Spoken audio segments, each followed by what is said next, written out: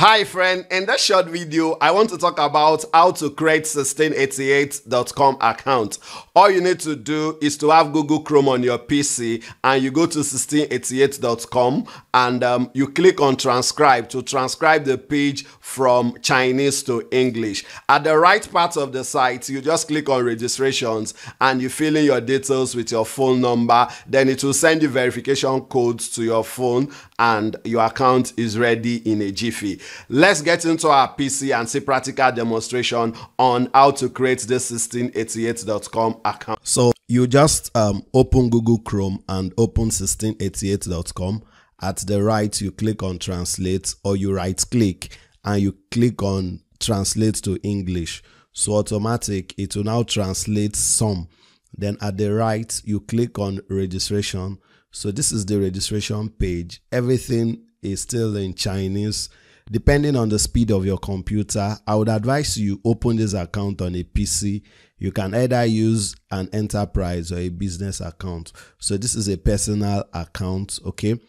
So what you do is some of the page will still show in chinese because this is in a frame. So you just click on continue.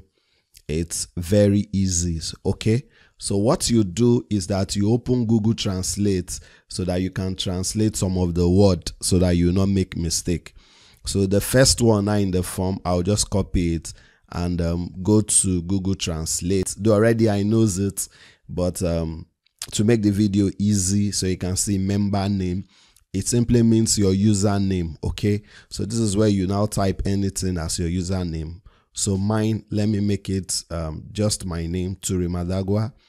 Then um, the other one is actually your password, but let me copy it also and go to Google Translate and confirm it.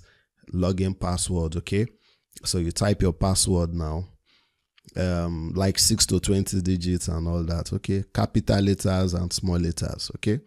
So you just create your password. So the other one is confirm password. So I'll just copy it now and um, paste it on Google Translate to see um, what it is, okay? So I've pasted it. you see it password confirmations, okay?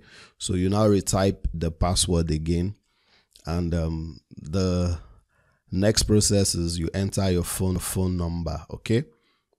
So it's very easy. So once you click on the drop down of your phone number, you just type control F so that you find your country, which is Nigeria. You just type our code. So our code is 234 that's plus 234 it will bring out nigeria here. So you've seen it now okay? So it's a it's a very easy process. You just like um, click on the drop down again okay? And type control f on your on your keyboard. That's it. To find where nigeria is 234 if you are in ghana 233 if you are in cameroon you type their country codes okay so the last one is after you put in your number, it's for you to slide. There is a slide there that you have to slide to the right so that it will send confirmation code to your phone number. So let me put it to confirm, which is the verification code. Okay. Now you've seen it here. So I'll just slide it to the right and um, it will now send a verification code to my phone. So it has sent it. So all you need to do is to open your phone and um, get the code that um, 1688 sent you. And um, you just click on next now. So it will ask you to place the code.